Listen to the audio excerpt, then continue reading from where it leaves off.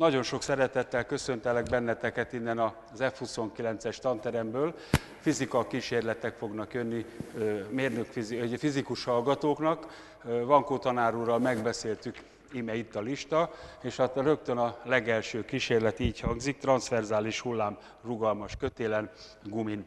A tanterem 16 méter és 4 centi széles, erre kifeszítettünk egy gumikötelet, és ennek a gumikötélnek a tulajdonságai alapján elmondhatjuk, hogy ez egy egydimenziós, rugalmas hullámközeg. Hát a gumiról mindenki tudja, hogy könnyedén nyújtható, és hát el lehet mondani, hogy ebben a közegben, hogyha egy zavart keltünk, a zavarkeltés az egy igen sajátságos módszere lesz. Kezemben van egy, egy deszkadarab, és ezzel a deszkadarabbal én ide ráhúzok egyet, és azt hiszem mindenki láthatja, hogy a, az, az így módon keletkezett zavar, van itt nekem még egy sokkal autentikusabb pálcám is, tehát itt az így módon keletke, keltett zavar, amit én így elindítok, ez fogja magát, egy ilyen V betű alakú deformációt kelt, és ez a V betű alakú deformáció elindul, elindul a,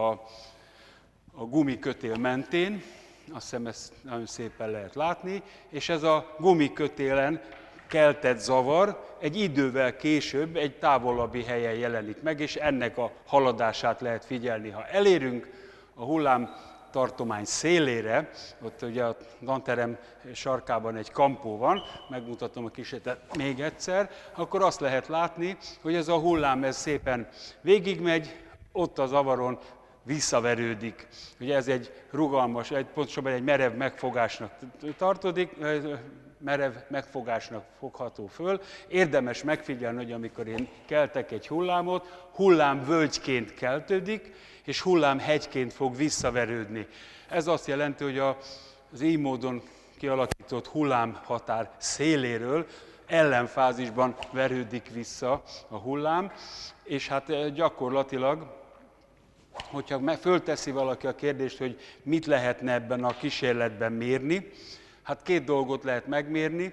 Mérhetünk távolságot, és mérhetünk időt, tehát elhelyezhetünk mondjuk ehhez a helyhez egy koordinátorrendszert, és ebben a koordinátorrendszerben megnézhetjük, hogy mekkora a két szélének a távolsága, mondjuk a falig mennyi a távolság, és akkor azt mondom, hogy amikor én ráhúzok erre egy stoppert elindítunk, és a stoppert akkor fogjuk megállítani, amikor a hullám elér a végére, vagyis hogyha nagyon akarjuk, a hullám elindulásának pillanatában nyomjuk meg a stoppert, és a hullám megérkezésének pillanatában. A két hely közötti távolság és az időből meghatározható a hullám terjedési sebessége, tehát tulajdonképpen akkor mindenképpen már mértünk időt, távolságot, és kiszámolhatjuk a sebességet, a hullám terjedési sebességét. Azt kell mondani, hogy a hullám gerjesztése ez egy speciális gerjesztés volt. Ez a speciális gerjesztés annyit jelent, hogy egy impulzusszerűen keltettünk hullámot, lehet kelteni hullámot úgy is, hogy nem impulzusszerűen, hanem folytonosan keltjük. Ez annyit jelent, hogy én fogom, és a kezemmel elkezdem ezt a gumikötelet folyamatosan egy nagyjából próbálom harmonikus rezgőmozgást létrehozni. A harmonikus rezgőmozgás eredményeként, amit keltünk rezgést, ez a rezgés állapot tova terjed, a tova terjedés eredményeként visszaverődik a végéről, és akkor ennek a, az eredményeként kialakul egy speciális hullám, az álló hullám.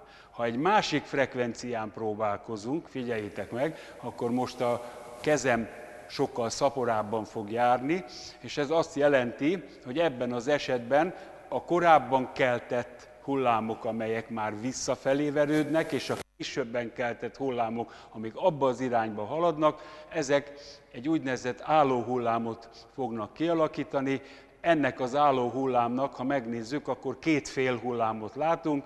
A két vége az csomópontnak felel meg, meg a közepe, és a végeitől számított egynegyedénél úgynevezett duzzadó helyeket találunk. Abban az esetben megpróbálom még szaporábban kelteni a hullámokat, és azt hiszem, hogy nagyon szépen látszik, hogy most egy úgynevezett három fél hullámmal gerjesztett hullámot tudunk előállítani. Hát én most már megállok, mert azért ennek a hullámnak a keltése ez komoly fizikai igénybevételnek felel meg. Tehát ez azt jelenti, hogy úgynevezett állóhullámokat is tudunk kelteni. Ezek az állóhullámok olyannyira érdekesek, hogy egy másik eszköznek a segítségével is szeretném ezt megmutatni. Az lesz a különbség az előző kísérletben, hogy az én kezem helyett, ettől most megszabadulunk ettől a gumikötéltől, ettől az én, ettől a, az én kezem helyett egy, egy gerjesztő berendezést fogunk alkalmazni, úgynevezett cirkulárisan poláros hullámot, cirkulárisan poláros hullámot, az egydimenziós rugalmas közeg egy csavarrúgó lesz. Közben megint csak beszámolok arról, hogy velem szemben Sarkadi tanár úr az is idén is, ugye a mostani előadáson is a tettes társam. Azt kell tudni, hogy, hogy ő lesz az, aki, mint fizikus, jól ért a kísérletekhez, tudja, hogy mit kell mutatni, tehát ezért is választottam, hogy ő lesz a tettes társam. Na, a következőt kell látni. A csavarrugónknak ez a vége úgy van kialakítva, hogy ha majd bekapcsoljuk a villanymotort, akkor ez a rész, ez így szép lassan körbe-körbe fog forogni. A villanymotornak a fordulatszámának fordulatszámát nagyon könnyedén tudjuk ezzel a toroid transformátorral befolyásolni, a csavarrugóról ismét elmondhatjuk, hogy egy egydimenziós, rugalmas közeg. A másik végén itt találunk egy, egy ö, olyan szerkezetet, ami egyik részről mereven tartja, másik részről pedig könnyedén engedi forogni. A következő kísérletben én elkezdem a villanymotort járatni.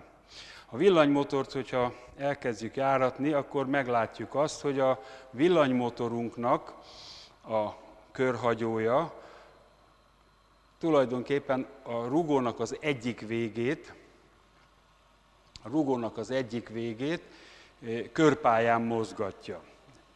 Beállítom a kísérletet, és azt fogjuk látni, hogy ez a körpályán való mozgás másolódik minden egyes helyen. Tehát ha itt megállok, akkor azt fogom tapasztalni, hogy itt is a rugó egy körpályán mozog. A körpályának természetesen, vagy nem természetesen, ebben a kisetben egyre nagyobb és nagyobb és nagyobb lesz az amplitúdója, míg nem elérünk a közepére, és a közepénél a rugónak a rezgésének a tágassága a legnagyobb lesz. Ezt a helyet duzzadóhelynek nevezzük.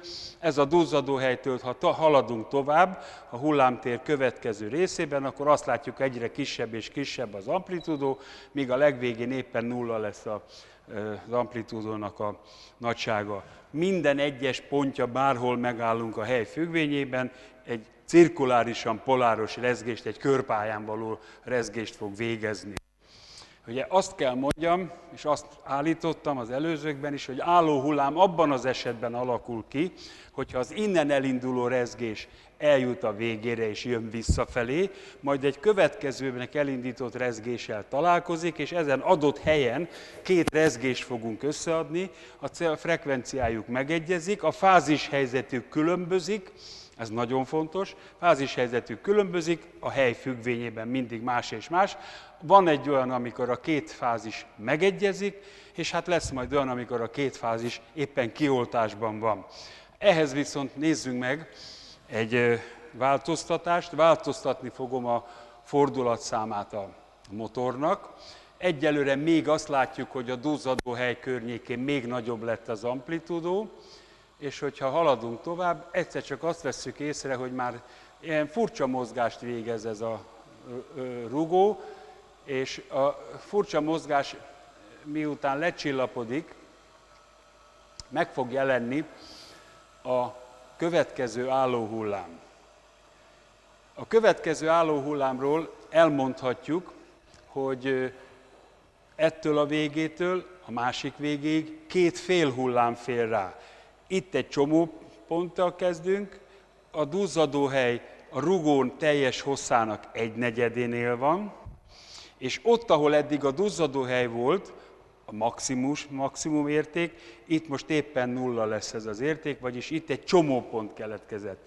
Tehát azon a részen, ahol az előző hullámnál duzzadóhely volt, ott most csomópont lesz. A következőkben meg lehet nézni azt, hogy ismét egy fél hullámot tapasztalunk, tehát ez a második fél hullám, és így eljutottunk hozzá a végére. Még amit érdemes megnézni, hogy ettől a ponttól, nektek balra, nekem jobbra, a rezgés minden egyes pontja azonos fél hullámban van, tehát azonos fázisban van, és amikor ez éppen a tetején van, akkor a tőle jobb oldalon, nekem bal oldalon pedig éppen alul van. Tehát azt lehet mondani, hogy ebben és ebben a tartományban a rezgés állapot ellenkező fázisban van. Amit érdemes megnézni, az a következő. Növelni fogom a fordulatszámot. Amit, amit érdemes nézni, az ez a csomópont. Ez a csomópont, ez időben állandó helyen van, ezért is hívjuk állóhullámnak. Abban az esetben a fordulatszámot növelni fogjuk, egyszer csak el fog következni az, hogy a csomópontunk helye nem lesz állandó, hanem oldalra oszcillálni fog. Mindjárt fogjuk hallani, és látni is. Azt hiszem szépen látszik, hogy oszcillál a csomópont, és ennek az oszcillációnak a végén egy ilyen zavaros állapoton keresztül egyszer csak föl fog éledni a három fél hullám, és azt hiszem ezt már nagyon jól látjuk is. Ebben az esetben el lehet mondani, hogy a duzzadó helyek azok a végétől, ugye tehát három egyenlő részre tudjuk beosztani ezt a húrt, az egyharmadán van egy fél hullám, a következő egyharmadán még egy fél hullám, és aztán még egy fél hullám, és ennek a fél hullámnak a közepén, vagy ha úgy tetszik, a húrunknak az egyhatodánál lesz egy duzzanóhely. Itt alakult ki a csomópont, és ott, ahol az előbb csomópont volt, itt most egy duzzadóhely van. Emlékezzünk, hogy az alapfrekvenciánkon duzzadóhely volt itt, az első frekvencián, az első felharmonikusnál csomópont, a másodiknál ismételten duzzadóhely. Amit érdemes nézni, például ezt a részét megnézzük, növelni fogom a fordulatszámot, és a fordulatszám növelésével azt fogjuk látni, hogy egyszer csak elkövetkezik egy olyan, for, egy olyan fordulatszám, amikor a, a csomópont helye vándorolni fog, ingadozni fog, tehát ez azt jelenti, hogy már álló hullám nem fog kialakulni, és még mindig növekszik az amplitúda, és egyszer csak most jön elő ez a rész, és a, a, ami után sikerül a frekvenciát ismét beállítani, akkor megállapíthatjuk, hogy még egyel több álló hullám jelent meg. Most már egy, kettő, három, négy félhullám fér rá a teljes tartományra, a közepén ismételten csomópontot látunk, megint csak elmondhatjuk, hogy, hogy minden egyes ponton egy körpályát végez az adott menet, ugye, ami a, az egyéni részecskének fogható föl. Növeljük tovább a fordulatszámot, és akkor azt fogjuk tapasztalni, hogy ismételten kialakulnak ezek az oszcillációk, az oszcilláció révén eljutunk egy következő tartományban, és most már egy, kettő, három, négy, öt fél hullám alakult ki, és hát gyakorlatilag azt is lehet mondani, hogy itt jön az ember, föltesz a kérdés, hogy vajon hány fél hullám fér rá erre. Hát, hogyha valaki a az elméleti határt keresi, akkor ugye úgy lehet fölírni ezeket, mint apró kis tömegpontok, a tömegpontok között rugók vannak, és akkor tulajdonképpen az egyik tömegpont mondjuk a fölfelé térült ki, a másik lefele térült ki, ennél tovább nem lehet. Tehát azt mondjuk, hogy egy menet éppen fönt van, a következő menet lent van, akkor ez az elméleti határa, hogy hány félhullám alakulhat ki. Természetesen ehhez megfelelő villanymotorra is szükség van. Nézzünk meg még egy következő fél hullámot. Tehát beállítjuk a hat fél hullámot, és akkor a hat fél hullám kialakulása után nekiláthatunk annak, hogy egy következő kísérletet mutassunk meg. Azt kell tudni, hogy minden egyes helyen, még egyszer mondom, az a rezgés állapot jelenik meg, valamilyen fázishelyzettel, amely a villanymotorunk kényszeréből adódik. Van egy segédem, Varga Dénes, Szervusz Dénes, megbeszéltük, hogy a polarizáció jelenségével fogunk foglalkozni, még egy picit várjál. Én itt fogok megállni, te a második, tőlem a második, tehát ide kéne jönni. Mind a kettőnknek a kezébe kérlek mutasd meg. Van egy speciális kényszer, ez egy kinyitható, becsukható rés. Ennek a résnek a segítségével először még csak én közrefogom az egyik csomópontot. A csomópontot, hogyha közrefogom, és szép lassan becsukom a rést, akkor elkezdődik az a jelenség, amit polarizációnak hívunk. Tőlem balra, nektek balra, nekem jobbra, az összes részecske körpályán mozog.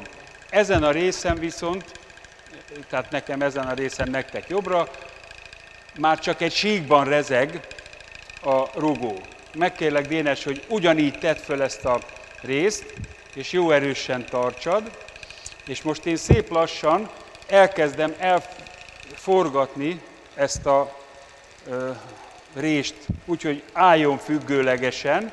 Látjuk, hogy a Dénes és a közöttem levő részben már csak síkban rezegnek ezek a részek, és ez a sík az most éppen függőleges, és a Dénestől jobbra levő tartományban pedig látjuk, hogy kioltódik a hullám. Abban az esetben, hogyha Dénes megkérem, hogy szép lassan, ahogy én is fordultam, lassan forgassuk függőlegesbe ezt a ö, rést, akkor azt fogjuk látni, hogy a Dénestől jobbra levő tartományban is megjelenik a hullám, és azt lehet mondani, hogy tőlem balra cirkulárisan poláros hullám van, tőlem a balra eső részben, vagy jobbra eső részben a Dénes és közöttem sík hullám, és most ez a sík hullám azon a résen könnyedén át tud menni. Én szép lassan elfordítom ezt a, ezt a rést, és akkor tulajdonképpen azt lehet látni, hogy a Dénestől tőlem távolabb eső részen ott teljes egészében kioltódik. Ez a polarizáció jelensége, a cirkulárisan poláros hullámból egy síkban poláros hullámot csináltunk, és a másik polarizáció segít, polarizátorunk segítségével ezeket az eszközöket jelen esetben polarizátornak hívjuk, akár elérhetjük, a két polarizátor párhuzamos egymással, akkor a síkpoláros hullám tovább halad, ha pedig egymásra merőlegesek ezek a az eszközök, akkor kioltást fogunk tapasztalni. Érdemes ezt a kísérletet jól megfigyelni, mert abban az eset, most én elfej, hagyjuk a kísérletet, nagyon szépen köszönöm. Tehát az a lényeg a dolgoknak, hogy egy mechanikai hullámoknak a polarizációját láttuk. A mechanikai hullámok polarizációját azért érdemes megnézni, mert nagyon jó mintául fog szolgálni olyan polározható, polarizálható hullámokra, mint például a fény, de a fénynél nem fogjuk ilyen szépen látni, hogy pontosan hogyan is történik a polarizáció. Ugye én most ezt az eszközt lebontottam, és megnézzük, mi a következő kísérlet. Ha minden igaz, akkor csavarrugón fogunk ismét kísérletezni, és meg fogunk nézni egy úgynevezett longitudinális hullámot. Az eszközünk főszereplője, majd ezt szépen hozom és jövök Tamáshoz közelebb. Tehát van nekünk egy rezgéskeltőnk, és a rezgéskeltőnknek itt van az elektronikája, így. A másik rezgéskeltő, tehát a rezgéskeltőnk itt található, van egy rugónk, ennek a rugónak az egyik végét fölakasztom erre az állványra, a másik végét rögzítem a rezgéskeltőben, és most a rúgónkat kifeszítjük egészen hosszúra. Ennél nem jövök közelebb, Tamás, jó? És akkor azt kell látni, hogy bekapcsoljuk a rezgéskeltőnket, így. A rezgéskeltőnket összekötjük a áramforrással, így, és akkor most kapcsoljuk be, és beállítjuk a frekvenciát, egészen alacsony frekvenciával fogunk, ilyen 1 Hz körüli frekvenciával fogunk dolgozni, és akkor most bekapcsolom a rezgéskeltőnket, és azt hiszem nagyon szépen látszik, hogy körülbelül egy olyan néhány milliméteres amplitúdóval periódikusan fölle mozog a rúgónak az egyik vége. Abban az esetben, hogyha megnézzük, hogy a lengések lecsillapodása után a rugó egyenletesen mozog, tulajdonképpen követi az egészet. Most egy kicsit a frekvenciával elkezdünk fölfelé menni, és keresünk egy olyan frekvenciát, ahol már a terjedési sebesség az jól látszik, és kialakul majd egy álló hullám. Azt kell mondjam, hogy nem lesz egyszerű a megfigyelésünk, ugyanis amikor kialakul az álló hullám, akkor nincs hang, de van, van hang. Bocsánat, csak Na, tehát akkor az álló hullám most nagyjából kialakult, és akkor az lesz a kérésem a Tamástól, hogy nézzük meg például ezt a részt, még egy kicsit állítunk rajta. Igen, ezt a részt itt a videokamera minden bizonyal egy pillanat, beállítunk egy frekvenciát. Igen. Tehát amit most fogunk tudni látni, az nem lesz más, mint hogy megkeressük, keresünk egy állóhullámot. Azt kell látni, hogy a, az eddig a csavarrugónak ebbe az irányba ö, ö, keltettünk rezgést. Az ebbe az irányba keltett rezgésből úgynevezett transzverzális hullám keletkezett. A transzverzális hullám azt jelenti, hogy a rezgés állapotra merőleges a terjedés irány. Hát tulajdonképpen hogyha meggondoljuk, akkor most egy úgynevezett longitudinális hullámot keltünk, mert a rezgés irányjal megegyezik a terjedési irány, és hát akkor most megnézzük, hogy ennek a longitudinális hullámnak az álló hullámát keressük. Egy pillanat, és mindjárt meg is lesz, szerintem. Itt lesz majd egy álló hullám, frekvenciáját nem egyszerű beállítani, de sikerül beállítani, és akkor most szerintem szépen látszik, hogy ezen a részen a rugó az nem elmosódottan látszik. Azért nem elmosódottan, mert ott a rezgés állapota egészen kicsi. Ha lejjebb jövünk, akkor itt olyan elmosódott a rugó, hogy biztosan nem látjuk jól. Ez azt jelenti, hogy itt a rezgés amplitúdója igen nagy, tehát itt van egy csomópont, itt egy duzzadóhely, itt van megint egy csomópont, és akkor ugye a végén pedig duzzadóhely van. Ha végig megyünk, itt megint csak találunk egy állóhullámnak egy csomópontját, és a következő csomópont az pedig itt van.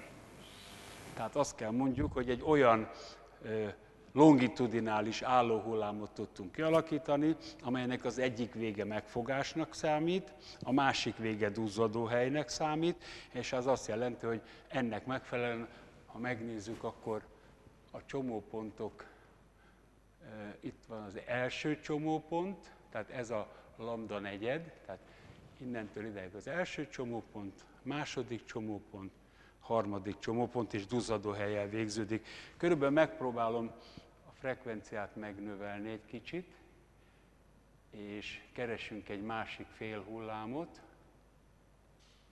Ez körülbelül 26 Hz környékén kéne, hogy kialakuljon. E, igen, azt hiszem, hogy itt, nem tudom Tamás, te mennyire látod, körülbelül ekkora egy hullámhossz, itt már meg tudom mutatni, tehát itt van egy csomópont, itt, és a következő csomópont való itt van, tehát egy araszon belül vagyunk. Vagyis, tehát azt kell lássuk, hogy a, az álló hullámok nem csak transzverzálisan, hanem longitudinálisan tudnak terjedni. Ha valaki megkérdezi, hogy milyen hullámokat ismerhetünk még, akkor azt kell mondani, hogy úgynevezett csavarási hullám is lehet. Tessék végigképzelni azt, mutatom, vegyünk egy, egy egydimenziós rugalmas közeget. Abban az esetben, hogyha a rezgés állapot ez, és a terjedés állapot ez, ezt longitudinás hullámnak hívjuk, hogyha rezgés állapot ez, és ez a terjedés állapot, ez a transzverzális hullám, és egy ilyen kiterjedtebb testnél azt is meg lehet tenni, hogy ilyen csavarást teszünk, tehát hogy ennek a végét periódikusan ide-oda csavargatjuk, ezzel a csavarási deformáció jut a végére, onnan visszaverődik, tehát úgy azt is mondhatjuk, hogy ez egy úgynevezett csavarási állóhullám lenne. Hát ennek a csavarási hullámnak, a állóhullámnak az elkészítése nem egy triviális dolog, tehát erre taneszközt én még nem láttam. A továbbiakban, hogy mindenki jól lásson, akkor elrendezzük a kísérleteket. Le is fogom kapcsolni a tanteremben a villanyt, mert olyan kísérletet fogunk megmutatni, amely abban fog különbözni az eddigiektől, hogy a kísérleti eszközünk segítségével felületi hullámokat fogunk tudni majd megvizsgálni hullámkált kísérletek jönnek. Megkérem Tamást, hogy legyen szíves megmutatni az eszközt. Az eszköz itt található egy nem túl nagy mélységű víz. A vízet úgy állítottuk be, hogy vízszintesen áll az alja, és üvegből van, és hogyha ebbe a vízfelületben valahol keltünk egy kis zavart, akkor azt hiszem nagyon szépen látszik, hogy úgynevezett koncentrikus körök fognak megjelenni a víz felszínén, és ezek a koncentrikus körök fogják magukat, kimennek a, a, az edényünk szélére, és az edényünk szélén úgy van kialakítva, hogy innen nem verődnek vissza a hullámok. Abban az esetben, hogyha a gerjesztésünk az folytonos lesz, ez lesz a gerjesztő. A gerjesztő nagyon hasonlóképpen működik, mint a másik. Van egy tápegység, a tápegységnek szabályozható feszültsége, egy villanymotor, és a villanymotor egy körhagyó segítségével az itt levő hullámkeltőt fogja működtetni. Abban az esetben, ha pontszerű hullámkeltőnk van, akkor a pontszerű hullámkeltőnk a mozgásának következtében minden irányban elindulnak a hullámok, és ezek a hullámok úgynevezett koncentrikus körök lennek, lesznek a sík felületen. Tehát itt most már nem egydimenziós, hanem kétdimenziós hullámokról beszélhetünk. Megkeresem a mutató pálcámat, és akkor ennek segítségével szeretném megmutatni azt, hogy amit érdemes megnézni, a két világos pöty között, vagy két világos vonal közötti távolságot ugye ez lesz maga a hullámhoz, mert két azonos fázisban levő helynek a része az a hullámhoz. Érdemes megnézni azt, hogy ahogy haladnak ezek a vonalak, egyre halványabbak és halványabbak. Ennek az a magyarázata, hogy egyre hosszabb és hosszabb körön fog elkeletkezni az az rezgéskeltésnek az energiája. Érténképpen azt lehet mondani, hogy a hullámkeltőnkhöz közel térben, ezen a részen a hullámzásnak az amplitúdója jóval nagyobb, mint a távolabbi részben. Világos, hogy a koncentrikus körök, ahogy egyre növekszenek, egyre nagyobb hosszon fog el, el, eloszlani az energia. Abban az esetben, hogyha a frekvenciát megnövelem, akkor meg lehet figyelni, hogy a hullámhossz az lényegesen kisebb lesz. Tehát ez azt jelenti, hogy a terjedési sebesség Ugye az az egyik, hogy mekkora sebességgel terjed a, a, a zavar, vagy a hullám, és a másik pedig, hogy a frekvencia és a hozzátartozó hullám hossz, ugye ennek az összefüggésnek egy kísérleti bizonyítékát látjuk, tehát meg lehet mutatni, hogy különböző frekvenciákon különböző hullámhoz fog kialakulni. ígyni. Ugye itt egészen hosszú hullámokat keltünk,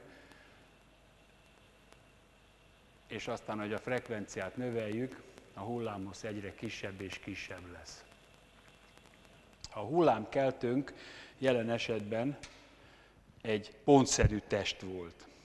Kicserélem, és meg fogom mutatni, hogy ennek a hullámkeltőnek, tehát megmutatom, hogy egy ilyennel keltettünk hullámot, ne jöjjek közelebb, ugye Tamás? Jó.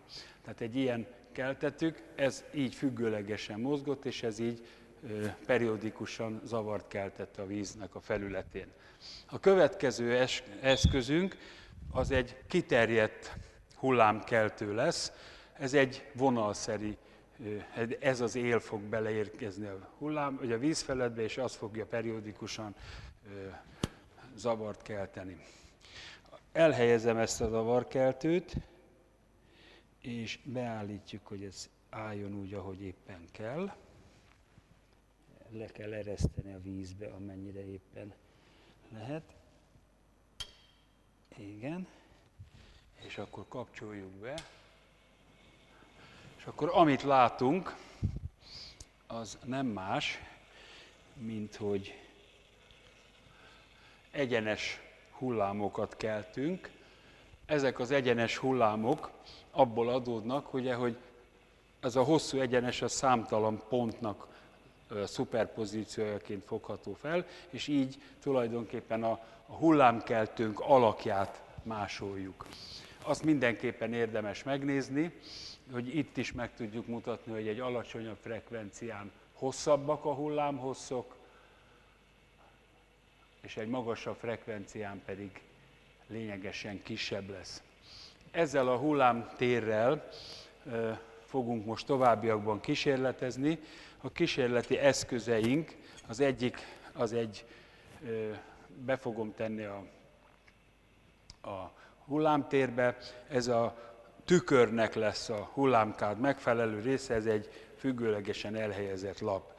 Nem csak egy sík tükröt tudunk majd megvizsgálni, hanem lesz egy, egy, egy ilyen domború tükörnek, a, meg a homorú tükörnek a mint hullámkád modelljét látjuk. Elsőként el fogom helyezni a tükröt, és a tükröt kb. 45 fokos szögbe helyezem el, és amit lehet látni, hogy érkezik a hullám, így érkezik a hullám ebbe az irányba, és abba az irányba megy be.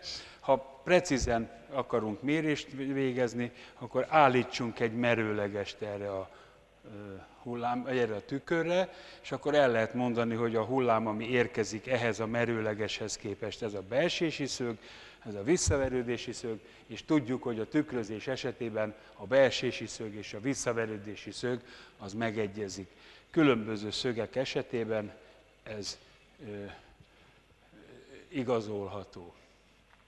Na most, a következőkben keressük meg a gömbtükrünket. A gömbtükröt, gömbtükröt el fogom helyezni itt egész távol, hullámkeltőnél, és azt hiszem mindenki nagyon szépen látja, hogy a gömbtükrünk egy pontba, a fókuszba képezi le a, a a hullámokat, és hát ez gyakorlatilag a gömbtükrök, illetve a parabola tükröknek a működésének megértéséhez vezet. Ez a hullámkád modell, ez nagyon szépen mutatja, hogy a gyújtó tükrök, tehát a, a, a homorú tükrök hogyan tudják a fókuszba a rájuk érkező párhuzamos nyalábokat összegyűjteni. Megnézhetjük egy másik frekvencián, Tamásnak jó ötlete volt, keressünk egy kisebb frekvenciát, és a, amint látjuk, a kisebb frekvencián egy nagyon izgalmas jelenség jön elő, jelesül az, hogy a frekvenciától függetlenül mindig ugyanott találjuk a, a fókuszt. Ismét térjünk vissza egy nagyobb frekvenciára, még egy sokkal nagyobbra is mehetünk. Minden esetben a fókusz a frekvenciától függetlenül ugyanott lesz. Fordítsuk meg ezt a tükröt, a homorú tükörből domború tükröt csinálunk, és hát most megnézzük, hogy ez a kísérlet mire tanít meg minket. Azt látjuk, hogy az ebbe az irányba érkező hullámok, tehát az ebbe az irányba érkező hullámok elérik a tükröt, tehát itt érkeznek a hullámok, így, és akkor tulajdonképpen a visszavert hullámoknak a görbületeit láthatjuk. Ha emlékszünk, hogy hol volt a fókusz, ebben az esetben is ugyanott van a fókusz körülbelül itt, ebből a pontból kiinduló koncentrikus körök lesznek a visszavert hullámok. Természetesen a domború tükörről tudjuk, hogy, hogy addig, amíg az egyenes hullámokban a hullámintenzitás nem nagyon változik, a domború tüköröknél igen gyorsan fog változni a hullámintenzitása, tehát csak a tükörnek a közel környezetében lehet jól látni. Itt ebben a távolabbi részben is lehet látni, de ez már nem biztos, hogy annyira meggyőző. A kamera lehet, hogy jobban fogja mutatni. Tehát akkor a hullámkádban láttuk a haladást, a terjedést, a frekvencia függvényében láttuk a tükröket, és akkor most egy olyan kísérleti eszközt fogok megmutatni, ami egy szürke színű üvegből kivágott üveglap. Tehát egy ilyen füstszínű üveglap. A vastagsága éppen 6 mm vastag. Én úgy állítottam be a, a vízmélységet, hogy a vízmélységünk az körülbelül 9 mm vastagságú. Azt fogjuk megcsinálni, hogy elhelyezem ezt a üveglapot itt a, a kádban, hullámkádban. Tehát itt fölül, ezen a részen a hullám az 3 mm-es, ebben a részben, tehát itt 9 mm-es, itt pedig 3 mm-es vízben tud terjedni a hullám. Indítsuk el a hullámokat, és amit meg fogunk tudni látni, az nem más, mint hogy ebben a tartományban, meg ebben a tartományban eltérő lesz a víznek a hullám hossza. Ezt addig fogjuk még egy kicsit változtatni. Itt van ez a rész, engedünk le a vízből, és a vízmélység, amikor a igen ér, tehát az abszolút ide eléri, lehet majd látni. Igen, jó, keresünk egy kisebb frekvenciát.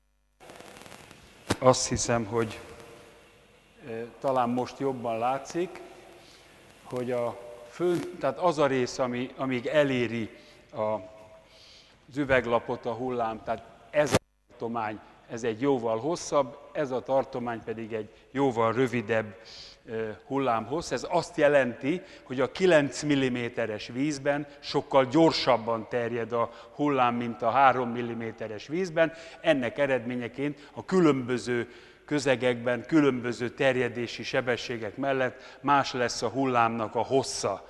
A mélyebb vízben hosszabb, a rövidebb vízben pedig rövidebb a, lesz a hullámhossz. Ez azt jelenti, hogy a terjedési sebesség ennek megfelelően alakul. Azt hiszem, hogy ez nagyon szépen látszik. Megtehetjük azt, hogy most kiveszem ezt az üveglapot, ugye jól látszott Tamás? Jó? Akkor megfordítjuk ezt az üveglapot, és most nem egy egyenes mentén fog találkozni, a, nem egy egyenes mentén fog találkozni a, a pillanat, még itt nézzük, hogy hogy is történik. Kicsit bonyolult ez a kép, de azt hiszem, hogy előbb-utóbb azt meg fogjuk látni, amit meg kell látnunk. A leglényegesebb dolgot látjuk, itt ebbe az irányba halad a hullám, és itt nagyon szépen látszik, hogy a hullám megtörik ebbe az irányba. Ez azt jelenti, hogy az eltérő vízmélységnél a közeghatára érkező hullám törést szenved, és ugye ez a törés ez jól látszik, tehát ezen a részen ebbe az irányba halad, itt pedig, innentől pedig ebbe az irányba halad. Szerintem nagyon szépen látszik a kísérlet. Ha ezeken a kísérleteken túl vagyunk, akkor keresünk ebből az üvegből egy másik fajtát, egy másik alakú üveget, és ez az üveg alak, hozom közel, hogy mindenki jól megfigyelhesse, ez egy két darab körívvel kivágott ilyen üveglemez. Ha ezt az üveglemezt elhelyezzük a hullámkádba, akkor el kell helyezni jó helyen üveglapot. Az a helyzet, hogy igen, most szerintem nagyon szépen látszik, kezd kialakulni az, hogy az üvegben az egyenes hullámfrontok, tehát az a része, azt kell megfigyelni, hogy a hullámfrontok ebben a tartományban egyenesek, ahogy elérkezik ide, ezek a hullámfrontok egy görbét fognak fölvenni, egy körívet, és ennek megfelelően ebben a pontban ennek a szerkezetnek kialakul egy fókusza, tulajdonképpen a domború lencsének a hullámkád modelljét látjuk. Nagyon szépen látszik, megpróbálunk egy másik frekvenciát is megmutatni, eh, mert hogy ez is egy izgalmas dolog lehet. Azt hiszem, hogy egy rövidebb hullámhosznál is nagyon szépen látszik, a fókusznak a helyzete nem változik. Amikor kivágták az üveglemezt, a domború, lemez, domború lencsének az üveglemezét, akkor a hulladékot nem dobták el, mert rájöttek arra, hogy ebből lehet csinálni homorú lencsének a hullámkád modelljét, úgyhogy most ez következik a kísérleteinkben. Azt kell látni majd, hogy amikor ez a hullámkád modellünk elindul, akkor az egyenes pillanat, igen, nagyon szépen látszik, az egyenes hullámok, amiket itt keltünk, tehát itt idáig egyenesként terjednek, és itt lehet látni, hogy itt ismételten görbék lesznek, körívek lesznek, és itt nagyon szépen látszanak azok a körívek, amik a szórólencse, a homorú lencse, kétszer homorú lencsének a képalkotását mutatja. Itt megállok egy picit, és szeretnék a hullámkáddal kapcsolatosan megtenni egy olyan megjegyzést, hogy mit érdemes megnézni, mert ebben a hullámkádban olyasmi látszik, ami más helyeken nem biztos, hogy fog látszani. Amikor a hullámforrástól elindulunk és el, haladunk, a hullámkádban minden egyes pontot külön-külön megfigyelhetjük, hogy hol tart a hullám, hogy jut el A-ból a B-be. Abban az esetben, ha majd nekünk ö, optikában fogunk kísérletezni, és a fényel fogjuk ugyanezt megtenni, mi csak azt látjuk, hogy itt bocsátjuk ki, itt jelenik meg, és hogy köztem mi történik, az nem nagyon látszik. Azt fogjuk tudni majd abban az esetben tenni, hogy elhelyezzünk itt egy ernyőt, és az ernyőn ebbe az irányba végigmegyünk, és megnézzük különböző helyeken, hogy mekkora a hullámnak az intenzitása, ez lesz majd az optikának a fő mutatványa. Itt a hullámkádban pedig nagyon szépen meg lehet mutatni azt, hogy a szóró lencsének például a a, miközben a lencsében halad keresztül a hullám, akkor mi történik. Na most. A következőkben elkezdünk ö, olyasmivel foglalkozni, hogy az optikának kétfajta tárgyalási módja van. Az egyik a, a sugároptika, a másik pedig a hullámoptika. A sugároptika általában geometriai szerkesztésekből jön ki, a hullámoptika azok pedig olyan rezgéstani, rezgéstani számításokkal követhető. Az egy nagyon izgalmas dolog, vegyünk egy hullámot, tehát itt van ez a hullám, és ez a hullám jelen esetben ebben a hullámkádban akadály nélkül tud terjedni. El fogok helyezni egy függőlegesen egy lemezt valahol itt, ezen a részen, és azt fogjuk látni, hogy a hullámkádban elhelyezett akadály, a hullámkádban elhelyezett akadály követően hogyan fog haladni a hullám. Azt látjuk, hogy ezen a részen egyenes alakú hullámok vannak, ezen a részen itt van az akadályunk, és akkor azt várná az ember a hullám, a sugároptika révén, hogy ettől a tartománytól ebbe az eső részben vannak hullámok, ez meg is van, és azt várjuk, hogy innentől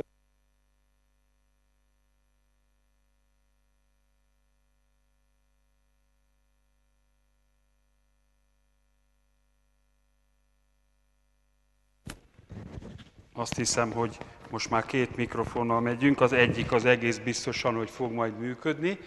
Tehát akkor a kísérlethez akkor hozzászólunk, tehát akkor azt lehet mondani, hogy itt van az egyenes hullám. Azt várjuk, hogy innen az akadálytól ebben a részben találunk csak hullámot, de vegyük észre, hogy ebben a negyedben is, itt megjelennek a kör alakú hullámok, és ez tulajdonképpen nem más, mint a hullámelhajlás. Ugye először Huygens volt, aki az első, elsőként ezt a hullámelhajlást kimondta, és azt mondta, hogy a hullámtérnek minden egyes pontja egy elemi hullámforrás, és ezeknek a hullámforrásoknak kiinduló koncentrikus köröket kell összegezni, és akkor fogjuk tudni jól megérteni. Ugye most egy akadályt helyeztünk el, helyezzünk el egy másik akadályt ebben a hullámtérben, ezzel átelemben pontosan itt, és akkor azt látjuk, hogy a hullám ezen a részen teljesen akadálymentesen tud áthaladni. Látjuk, hogy ebbe az irányba is, meg ebbe az irányba is megtörténik az, elhajlás, vagyis, hogyha egy hullámfrontot nézzünk, akkor itt lehet látni egy körívet, egy egyenes szakaszt és egy másik körívet. Abban az esetben, hogyha ezt a távolságot megmérjük, ennek a résnek a távolságát, talán így kéne mutatni, ezt a távolságot megmérjük, és megnézzük, hogy mekkora hozzá képest a hullám frontunknak a hossza, tehát pontosan a, hullám, a hullámunknak a hullámhossza, akkor azt lehet látni, hogy ez viszont frekvencia függvényében igen izgalmas dolgokat fog nekünk mutatni. Ugye továbbra is az látszik, hogy van egy egyenes szakasza, és itt ezen az oldalon ívesek. Most azt fogom tenni, hogy ezt a résnek a méretét elkezdem csökkenteni, és hogyha lecsökkentjük egy kritikus érték alá, akkor tulajdonképpen azt lehet mondani, hogy a kritikus érték az azt jelenti, hogy legyen összemérhető a hullám hosszával ez a rés, akkor úgy fog viselkedni ez, mint egy pontszerű hullámkeltő. Tehát tulajdonképpen a Huygens-nek a, a, a, Huygens-nek a, az elvét próbáljuk igazolni, és azt hiszem nagyon szépen lehet látni, hogy a, a rés után koncentrikus körökként fognak megjelenni a hullámfrontok. Abban az esetben, hogyha ezt a hullámforrást megduplázzuk, tehát ez azt jelenti, hogy elhelyezem itt ezt a két nyílást, most még nagyon széles a nyílás, és szeretném megmutatni, hogy van egy, egy kicsi lemezünk, amit be fogunk tenni, és akkor ennek a jobb oldalán is, meg a bal oldalán is majd el fog tudni haladni a hullám, és akkor ennek eredményeként nem egy, hanem két rést tudunk megalkotni. Azt hiszem nagyon szépen látszik az a jelenség, aminek a, a hogy is mondjam, a felvezetése fog történni. Tehát van két pontszerű forrásunk, az A és a B, meg kell állítani ezeket szépen egyenletes méretűre, tehát az nagyon szerencsés, hogyha megegyezik a kettő, és akkor ennek a két résnek az áthaladása után azt fogjuk tapasztalni, hogy átlapolódik a két darab koncentrikus kör mintázat, és az átlapolódás eredményeként egy úgynevezett interferencia jelenséget tudunk megfigyelni, tehát két különböző helyről érkezik egy, egy hullám, például ha megnézzük ezt a pontot, akkor ebből ide érkezik egy hullám, ebből ide érkezik egy hullám, és itt, hogy, hogy nem, nem látunk hullám jelenséget, vagyis ez azt jelenti, hogy ez az úthoz különbség, amíg innen ide eljutunk, és innen ide, ez az úthoz különbség pontosan ki fogja oltani az ott levő hullámokat. Tehát magyarul a két réses kísérletet, tehát két darab hullámkeltőnk van abban az esetben a frekvenciát megnöveljük, akkor még inkább látszik az, hogy ez a kísérlet, ez már frekvenciafüggő, erősen frekvenciafüggő. Érdemes megnézni, hogy itt van az egyik pontforrásunk, itt a másik, és itt a kettő között, ha húzunk egy merőlegest, akkor megjelenik ez a rész, és ez a rész ugye azon pontok mérteni helye, ami ettől és ettől azonos távolságra kerül, ennek eredményeként ezen minden egyes pontján erősítő interferenciát fogunk találni. Azon pontok mértani helye, ahol pedig kioltás van, ezt a számításokból meg lehet állapítani, ezek hiperbolágak lesznek. Ezek a hiperbolágak, ugye az első az itt látható, a második itt látható, a harmadik itt gyanítható. Tehát itt is meg lehet látni, hogy az első, második. Nézzünk egy másik frekvenciát. Ezen a másik frekvencián, ha szerencsénk van, akkor további hiperbolágak fognak megjelenni, és ez azt jelenti, hogy a, a hiperbolágok megjelenése azzal magyarázható, hogy nagyon sűrűek ezek a hullámok, tehát a hullámhoz nagyon kicsi, és tehát gyakorlatilag több helyen fog kialakulni ö, kioltó ö, interferencia. Az az igazság, hogy meg fogjuk ezt a kísérletet ismételni egy kicsit másképpen. Ö, tulajdonképpen ugyanezt fogjuk látni, mégis didaktikus szempontból érdemes ezt a kísérletet elvégezni, didaktikai szempontból, tehát a tanulás szempontjából mindenképpen érdemes megnézni. Amit be fogok tenni a hullámkeltőnkbe, az egy ilyen kettős hullámkeltő. Ugye emlékszünk, hogy az elsőnél egy darab ilyen kis vízfolt ütögető volt. Itt most kettő van, és annak a kettőnek a távolsága az jól látszik, hogy körülbelül egy olyan bő egy újnyi. Ezt elhelyezem itt, és hogyha ezt én itt elhelyeztem, akkor elindulhat vele a kísérletezés. Ha valaki megkérdezi, hogy hogy is lehetne ezt leírni, akkor azt kell mondani, hogy kettő darab rezgéskeltőnk van, az A és a B pontban, és a két darab rezgéskeltőnk azonos amplitúdóval, azonos frekvenciával és azonos fázis helyzetben kelt hullámokat. Na most, akkor indítsuk el a rezgéskeltést, és azt hiszem, hogy nagyon szépen látszik majd az, hogy a két darab rezgéskeltőnk nél ismételten ugyanazok a kísérletek fognak létrejönni. Ha a kettőnek az összekötő egyenesére állítunk egy merőlegest, akkor az éppen ebbe az irányba van, tehát itt, és akkor azt lehet mondani, hogy ezen az egyenesen az intenzitás, a hullámintenzitás igen nagy lesz. Ha ebből a pontból elindulunk és eljövünk ide, akkor ez egy másmilyen úthoz lesz, mint ha innen érkezünk és eljövünk ide, ezeken az egyeneseken pedig kioltó interferenciát fogunk látni. Ez egyenesnek látszik a kisedben, valóságban ezek hiperbolágak, és ha valaki megfigyel, akkor itt még további hiperbolágakat lehet megfigyelni. Természetesen, hogyha ezt a rezgéskeltőt itt középen hely, helyeznénk el, akkor ezek a hiperbolágok szépen kirazódnak, tehát ebbe az irányba is arra fölfelé folytatódnak. Tehát akkor tulajdonképpen a, a két hullámforrás interferenciáját figyelhettük meg, és akkor amivel zárjuk a hullámkádas kísérleteket, az két darab különleges rezgéskeltő lesz. Az egyik az periódikusan vannak elhelyezve ilyen kis fogacskák, ezek fognak így beérkezni a vízbe, és egyszerre 1, 2, 3, 4, 5, 6, 7 helyen fogják kelteni a hullámot, azonos fázissal, azonos amplitúdóval és azonos frekvenciával. Na most be kell állítani ennek a részét, hogy egyszerre érkezzen be ez a két hullám. Igen indítsuk el a hullámokat.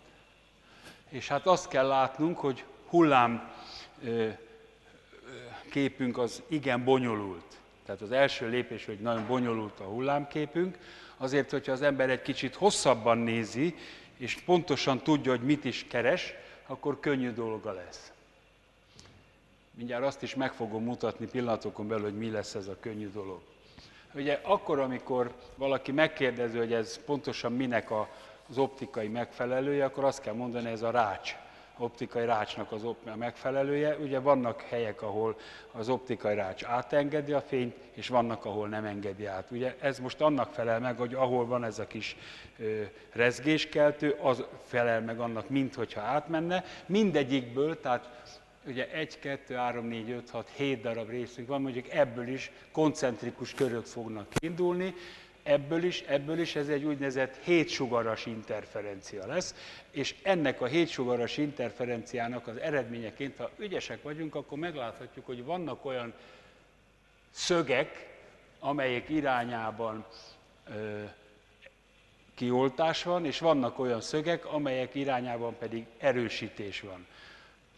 Tudom, hogy egy kicsit bonyolult a dolog, de azért nézzük meg, hogy mit is tudunk elmondani. Például, hogyha az ember fogja, ide elhelyez egy ernyőt, és ezen az ernyőn végig megyünk, ezen az ernyőn minden egyes ponton följegyezzük azt, hogy mekkora a hullámnak az intenzitása, akkor periódikusan fogjuk a közepét, tehát a, a rácsunknak a közepénél találunk egy főmaximumot, és utána jobbra-balra találunk minimumokat, aztán mellékmaximumokat, és ezek így periódikusan fognak jönni. Attól függően, hogy mekkora a rácsunknak az állandója, mekkora a hullámnak a frekvenciája, más és más szögekben fogja erősíteni, illetve kioltani a kísérlet a részeket. Egy nagyobb frekvencián ez szerintem most sokkal jobban látszik. Érdemes még egyszer végignézni, hogy vannak irányok, amelyek irányokban kioltás van, vannak irányok, amelyekben erősítés, tulajdonképpen ezeket a, az egyeneseket, ezeket egy szögekkel lehet jellemezni, a rácsunkra merőleges állításhoz képest különböző szögeket fogunk tudni megfigyelni. Az a helyzet, hogy a hullámtani kísérleteket úgy nagyjából szerintem be is fejeztük. Most akkor átvonulunk egy másik helyszínre, és a következő kísérleteink azok most már a hullámkádot elhagyva elkezdünk a húrnak a rezgéseivel foglalkozni. A húroknak a rezgéseit nagyjából már ismerjük. A húroknak a rezgéseit azért mondom, hogy nagyjából ismerjük, hiszen az a kísérlet, amikor ez a hosszú csavarrugó volt kikelt, kifeszítve, és különböző módon gerjesztettük, azok már tulajdonképpen a húr rezgéseinek az alakját a megjelenítését jelentette. Abban az esetben, hogyha a húroknak a frekvenciáira vagyunk kíváncsiak, és nem akarjuk látni, akkor nyugodtan elmondhatjuk, hogy érdemes hagyatkozni a fülünkre. És akkor tessék megfigyelni, itt van a monokord nevű eszköz. A monokord az ugye szó szerint egy húrt jelentene, de tetszik, nem tetszik, ezen két húr található. Az az igazság, hogy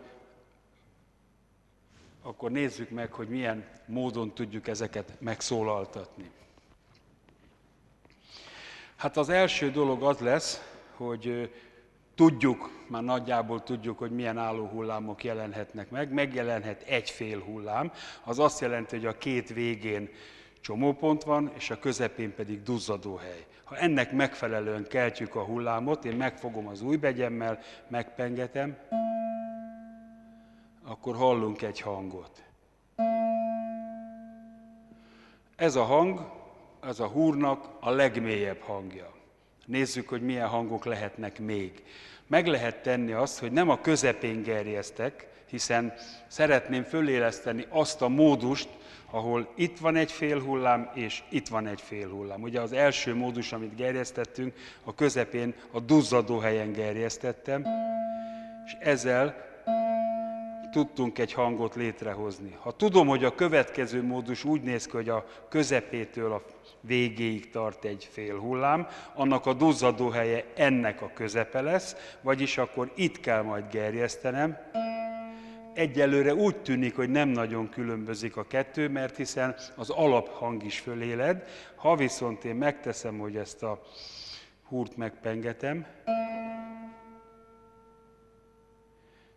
és hozzáérintek egy ilyen bütykös hattyúnak a tollát, akkor tulajdonképpen az első legalacsonyabb frekvenciájú módust, azt ki tudjuk ebből oltani.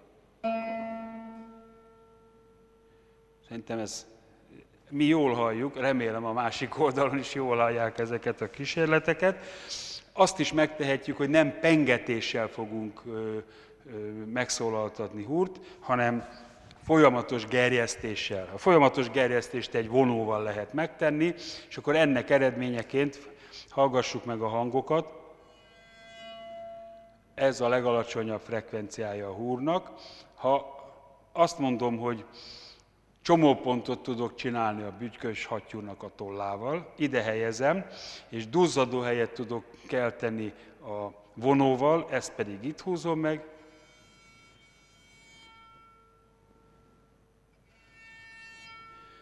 akkor pontosan egy oktávval magasabb hangot hallunk.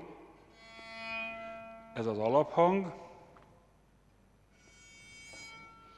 ez pedig egy oktávval magasabb. A következő állóhullám az úgy néz ki, hogy a teljes tartományt három egyenlő részre fogjuk osztani, és a három egyenlő résznek a felénél kell majd a vonóval gerjeszteni, és az egyharmadánál pedig a bütykös hattyú tollát. Ez a következő hang, Ezt do decimának hívják a zenészek, oktáv plusz kvint, ha úgy tetszik. Ugye az oktáv az, az a kétszeres frekvencia, és hozzáadjuk a kvintet. A következő, a két oktáv hang az úgy áll elő, hogy az egy negyedénél és az egy nyolcadánál fogom a beavatkozásokat elvégezni, az egy negyedénél csomópontot csinálunk, az egy nyolcadánál gerjesztjük. Pardon? Ez a két oktáv. A két oktáv plusz nagy terc nevű hangot, azt így hallgatjuk meg. Két oktáv plusz kvint. És van még egy zenei hang, a három oktáv. Kihagytam egy hangot, hogyha valaki figyelt, akkor világosan látszik, az egy hetedénél kéne lefogni, és az 1 14 gerjeszteni. Ez a hang, ez nem illik be a zenei hangrendbe.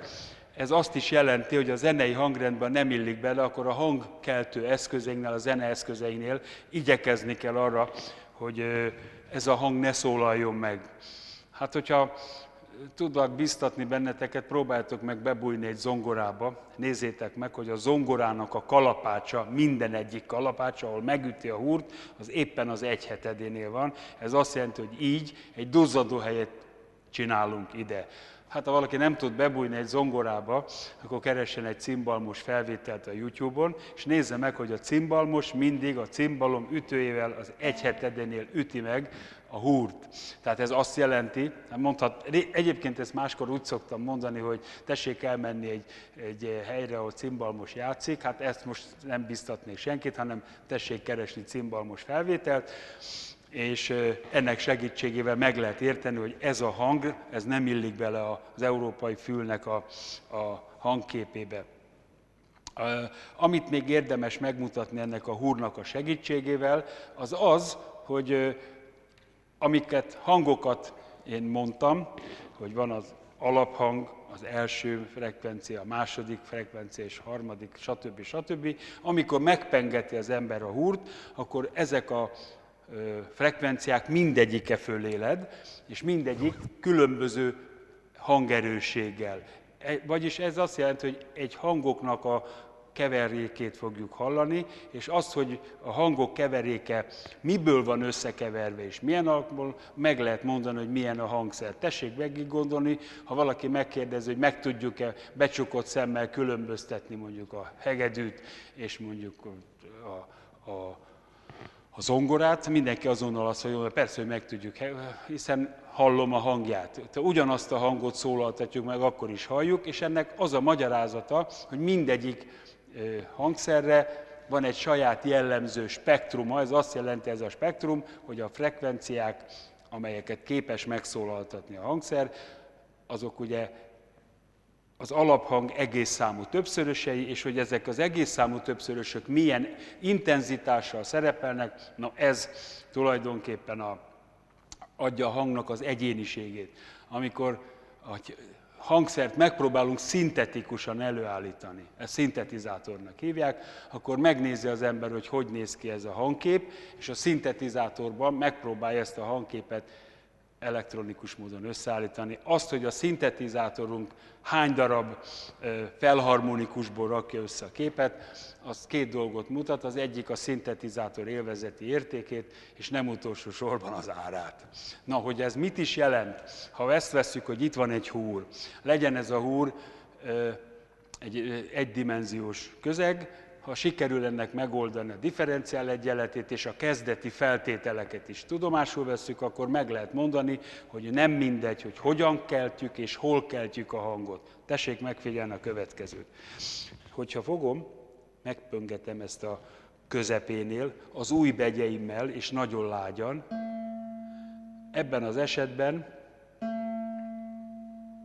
azt mondhatjuk, hogy lágyan, mondhatnánk líraian, a hárfához nagyon hasonlító hangon fog megszólalni a, a húr.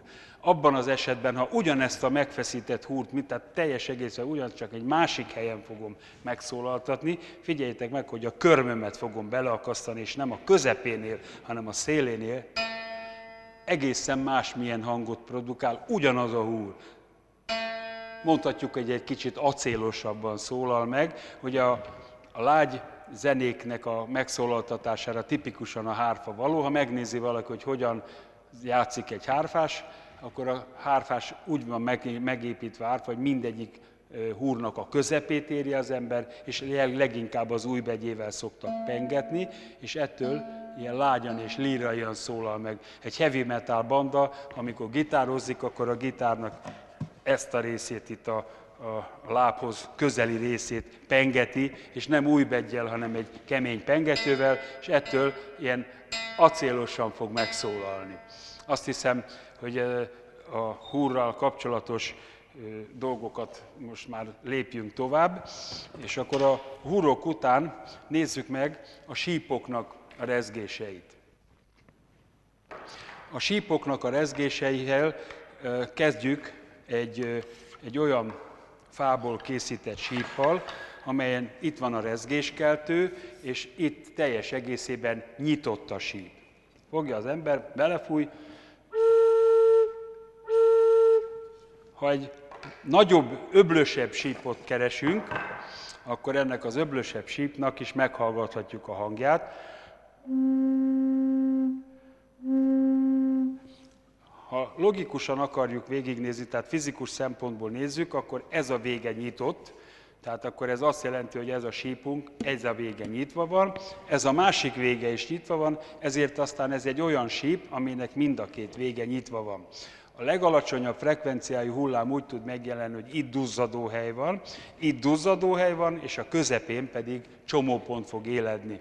Ez azt jelenti, hogy a következő fél hullám úgy fog kinézni, hogy ugye az, a legmélyebb hang az úgy fog kialakulni, hogy közepén csomópont, két végén duzzadóhely, aztán a következő, vagyis egy fél hullám alakul rá, alakul ki benne, a következő két fél hullám, tehát egy negyed hullám, meg egy negyed hullám és egy fél hullám, és akkor ennek megfelelően alakul ki a, a sípnak a hangképe. Abban az esetben, hogyha az egyik végét befogom, akkor egy olyan hullám tartományt fogunk eltenni, az egyik végén zárt, a másik végén nyitott. Ennek a legalacsonyabb frekvenciája úgy alakul ki, hogy itt van csomópont, és itt a végén duzzadó egy, tehát a sípon egy negyed hullám fog föléledni, és ha megkérdezi valaki, hogy mi a következő, akkor az egy negyed hullám után jön egy, egy negyed hullám és egy fél hullám, aztán egy negyed hullám és két fél hullám, és így tovább. Ha valaki ezeket szépen papíron fölirogatja, akkor azt fogjuk tapasztalni, hogy a sípnak, amelyik az egyik végén van befogva, az alapfrekvenciájának megjelenik a háromszorosa, az ötszöröse, a hétszerese, vagyis a páratlanok fognak megjelenni. A Két végén nyitott sípnál pedig az alaphullám az egy fél hullám, két fél hullám, három fél hullám, és így tovább. Ez azt jelenti, hogy ez viszont a természetes egész számokra fog jönni. Az egyik esetben 1, 2, 3, 4, 5, 6, 7, a másik esetben 1, 3, 5, 7, vagyis ritkábban fognak megjelenni a módusok. Ez, ez nagyon jól hallható. Tessék megfigyelni. Megfújom a sípot. Ha befogom a végét, akkor egy teljesen mást hang fogunk hallani.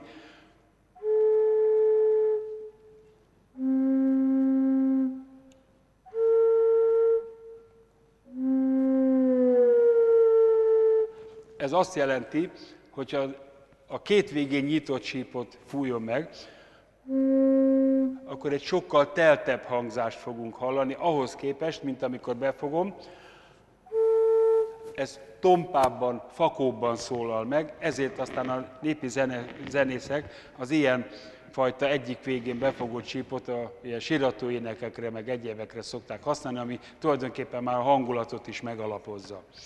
Ugye, ami még nagyon fontos, hogy ezeknek a sípoknak meg tudjuk mutatni a felharmonikusait. Itt van egy furúja, és ezt a furuját, hogyha minden lyukat befogok, így megnézem, hogy minden lyukat befogtam, megfújom,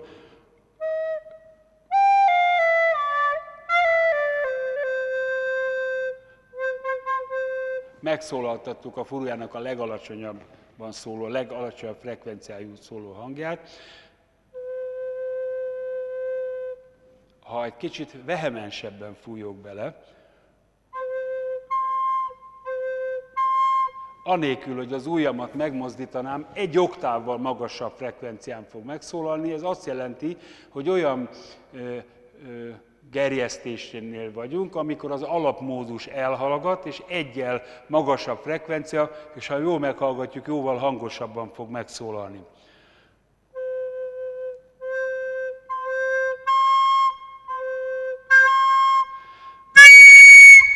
Hát ha jobban nagyobbat fújok bele, akkor meghal, elhallgat az alapfrekvencia utáni első frekvencia, és a második lesz a domináns. Hát ha bírja valaki füllel, akkor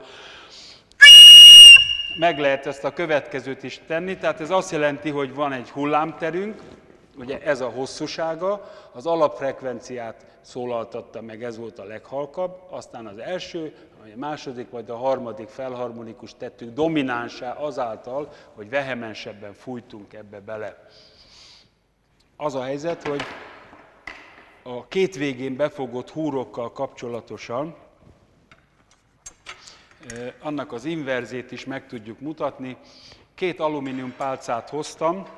A két alumínium pálca az egyik 750, a másik pedig 500 mm hosszúságú, egy 10 mm átmérőjű tömör acélpálca, vagy alumínium pálca. Az alumínium pálcát speciális módon rezgésbe lehet hozni. A kezemben egy olyan port tartok, amelyet nem beszívni szoktam, hanem az ujjamat kenem meg vele. Ennek a pornak ez a gyanta, fenyőgyanta. Az a tulajdonsága, hogy nagyon különbözik a csúszási és a tapadási, surlódási együtthatója. Ezért lesz majd alkalmas rezgéskeltésre.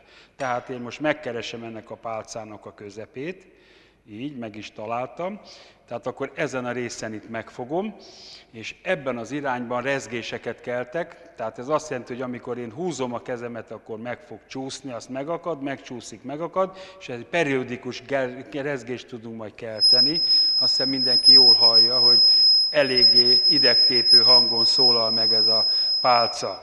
A pálcában rezgéseket keltünk irányba, ezért aztán ez egy longitudinális hullámkeltés. Ez azt jelenti, hogy a longitudinális hullámok keltésénél ez egy duzzadóhely, ez egy duzzadóhely, ez egy csomópont, tehát akkor egy negyed hullám, és még egy negyed hullám, vagyis a pálcának az alaphangja az egy két negyed hullámból, vagy egy, úgy, úgy tetszik a pálcánk, hossza éppen a hullámhossznak a fele.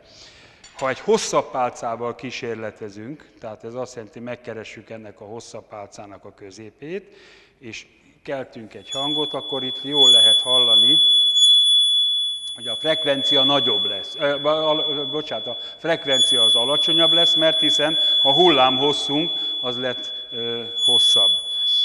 Azt kell mondjam, hogy a, az egyik vég, vagy a közepén rögzített pálcának, vagy úgy értem, a két szabad véggel, leve, le, le, na, két szabad véggel rendelkező pálcának is van felharmonikusa. Ehhez az kell, hogy az ember megkeresi az annak megfelelő csomópontot, és ott kell megfogni. Ha például azt mondom, hogy ennek a pálcának ez lesz a negyed hullámhossz, akkor itt lesz egy fél hullámhossz és még egy negyed, akkor ennek a hullámhossza, tehát emlékeztetőül ez az alaphang, és hogyha most megkeressük a, az első felharmonikust, akkor éppen egy oktával szól magasabban. Szóval nem, nem mikrofon gerjedési hiba, nem tudom meg, nem megállni azt, hogy elmeséljek egy jó történetet. Ezt a kísérletet a Pálcák rezgései címszó alatt írta föl a Vankó tanár úr. Én meg úgy szoktam hívni, hogy ez a Hangtechnikusok Réme című kísérlet, és a kísérlet az, azt tartozik hozzá, hogy egyik alkalommal egy vidéki művelődési átba tartottam fizikaórát, a mikrofonkezelő ember az szépen látta, hogy el vagyok egyedül, jól el, tehát semmi különösebb mutatványra nem volt szüksége, és én azt láttam, hogy ő az előadás során belealudt a fizika órába, nem is csodálkozom, mert a fizika órát az nem mindenki szereti. Na lényeg az, hogy amikor eljutottam ehhez a kísérlethez, és ezt így, így megszólaltattam ezt a pálcát, ugye a hangtechnikus az ilyen gerjedésekre azonnal fölébredt, és az összes potmétert lehúzta, és utána nagyon bambán nézett, hogy miért is nem hagy, maradt abba a gerjedés. Aztán később az előadás végén elmondtam, hogy tulajdonképpen nem ő rontott el, hanem a kísérlet szól így. Na, még annyit meg lehet próbálni, hogyha van kedvünk, akkor ugye még egy frekvenciát megszólaltatunk, ez azt jelenti, hogy most itt lesz egy negyed hullám, aztán két fél hullám és egy negyed hullám, tehát akkor megkeressük ezt a pontot,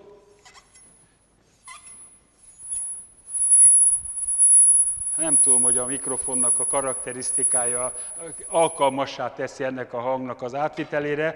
Sarkadi Tamás barátom arcát láttam eltorzulni, úgyhogy egész biztosan megszólalt. Én ezt a magas frekvenciát már nem hallom sajnos. Na, tehát akkor a pálcák rezgéseit megmutattuk, de talán ne hagyjuk ki, ha már elhoztam, akkor nagyobb pálcával is el lehet ezt végezni. Ez a nagyobb pálca, ez talán jobb hallhatóságot fog tenni.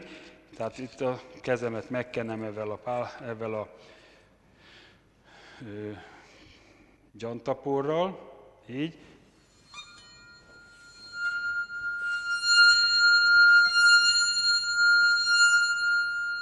Ez az alaphang, aztán az első frekvencia, ezt, na, igen. A gerjesztés az nem közömbös, azt jó kell csinálni.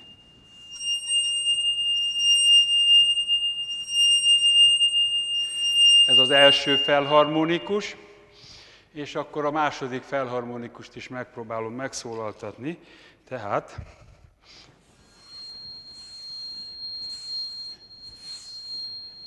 ez még nem az igazi, legalábbis a hangerejét. Már megszólalt, csak... Na,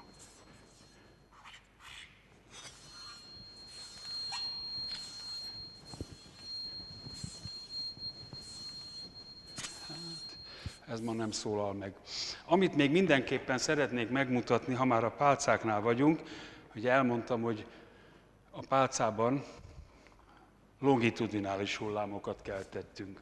A longitudinális hullámoknak a frekvenciáját tanulmányoztuk, és akkor most nézzük meg, hogy a pálcában, ugyanabban a pálcában tud transzverzális hullám is keltődni. Az egyik mikrofonom leesett. Ja, nem, jól van. Ez azt jelenti, hogy megkeressük a, azt a részt, ahol a közepe, ez lesz a duzzadóhely. Ugye nem csak úgy szólaltathatjuk meg, hogy így szólaltatom meg, hanem megtehetem azt, hogy egy kalapáccsal, egy koppantóval megütöm a végét, és ugyanaz a frekvencia fog föléledni. Abban az esetben, hogyha nem így ütöm meg, hanem erre merőlegesen, a hoztengére merőlegesen, egy másik hang fog föléledni.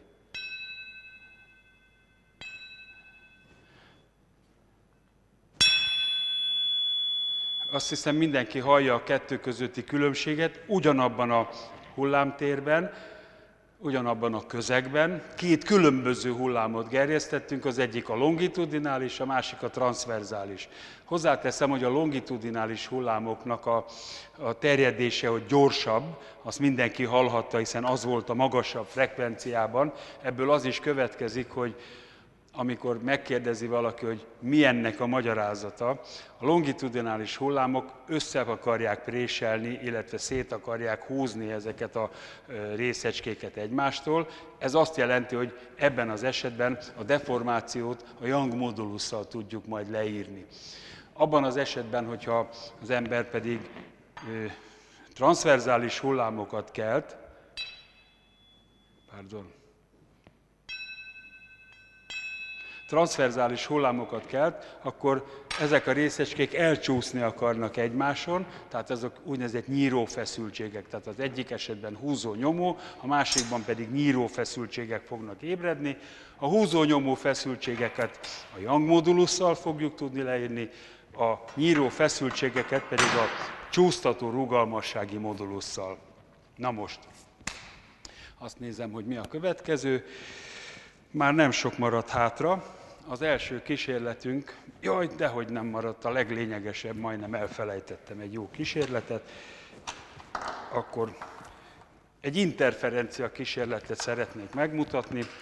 Az interferencia kísérletünk a Quincke-féle cső kísérletet fogja megmutatni. A Quincke cső kísérlethez hozom az eszközöket. Hát elsőként hozom magát a kvinkecsövet. A kvinkecső ím itt van,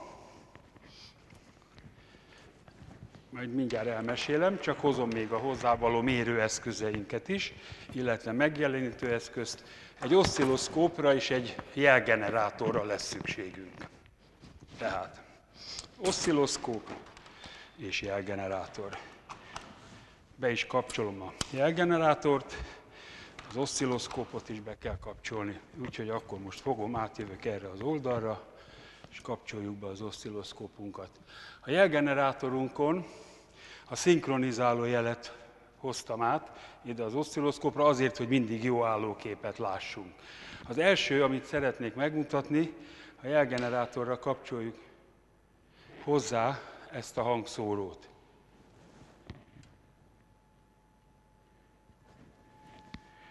Azt hiszem mindenki hallja ennek a hangszórónak a hangját, és hogyha ö, ezt majd előbb-utóbb ennek a hangját hallani is fogjuk, pontosan látni is fogjuk. Betesszük ebbe a csőbe ezt a hangszórót. Ennek a csőnek van egy olyan tulajdonsága, hogy egy Y-ban itt elágazik. Ez azt jelenti, hogy ez a hullámfront itt két csőben folytatja az útját. Ez a két cső, ha megnézzük, párhuzamosan megy egymás mellett, itt megy a két cső, itt jön vissza, és ez a két cső ismételten egy Y-ban találkozik, és ez az Y-nak a végén elhelyeztünk egy hangszóró helyett egy mikrofont. Ez a mikrofon fog rákerülni ide az oszcilloszkópra. Azt hiszem mindenki látja, hogy a mikrofonunknak a jele, az pontosan ennek a kisugárzott hangnak a jele. Ha megváltoztatjuk a frekvenciát, akkor szerintem szépen látszik. Az is látszik, hogy én egy ö, olyan beállítást hoztam elő, amikor, amikor is, talán így jobban látszik, a ki is tudjuk ezt nagyítani, azt látjuk, hogy az itt érkező hang ezen a két csövön ide szépen megérkezik. Na most. Tehát az innen kiinduló hang két úton keresztül jön ide, és megérkezik ide, és hallhatóvá teszi a mikrofon. Úgy van megcsinálva ez a cső, hogy egy pozonszerűen van lehetőség ennek az úthossznak a növelésére, és hogyha ezt én elkezdem ezt fölfelé tolni, akkor érdemes megfigyelni, hogy az hosszabb és hosszabb lesz az úthoz, ott egyre kisebb és kisebb lesz az amplitúdó. Szerintem mindenki emlékszik arra, amikor két rezgés kellett összeadni, hiszen ebben a pontban a két rezgés összeadódik.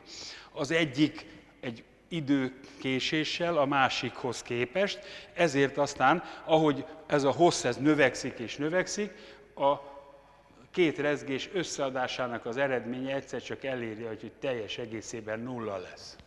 Tehát akkor az úthoz különbségnek eredményeként az rövidebb csövön, meg a hosszabb csövön érkező hangnak az összeadásaként kioltást fogunk tapasztalni, nem más ez, mint hanginterferencia. Természetesen, hogyha tovább növeljük a host, akkor már megint össze fog adódni a két frekvencia, és ahogy nézitek, egyre nagyobb és nagyobb lesz az amplitudó, míg nem elérjük az amplitudónak a maximumát. Ez azt jelenti, hogy ekkora hosszal kell hosszabb lenni, hogy ismételten azonos fázisban találkozzon a két hang egymással.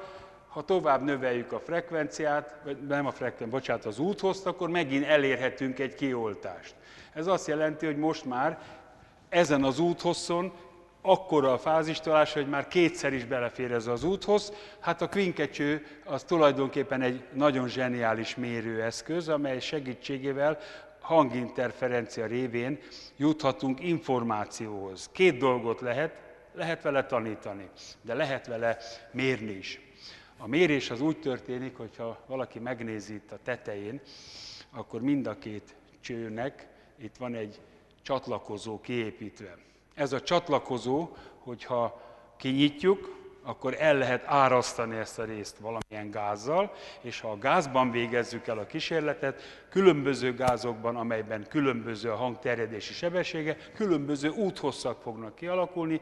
Ebből azt is lehet mondani, hogy ennek a kvinkecsőnek a segítségével különböző gázokban nagyon nagy pontossággal meg lehet mérni a hang terjedési sebességét. Tehát igazából mondom, az egyik része pedagógia, a másik része az pedig egy használható tudomány. Abban az esetben, hogyha még a hullámokkal foglalkozunk, már pedig miért ne foglalkoznánk a hullámokkal, kicsit megszabadulunk ezektől az eszközöktől. Elviszem ezeket.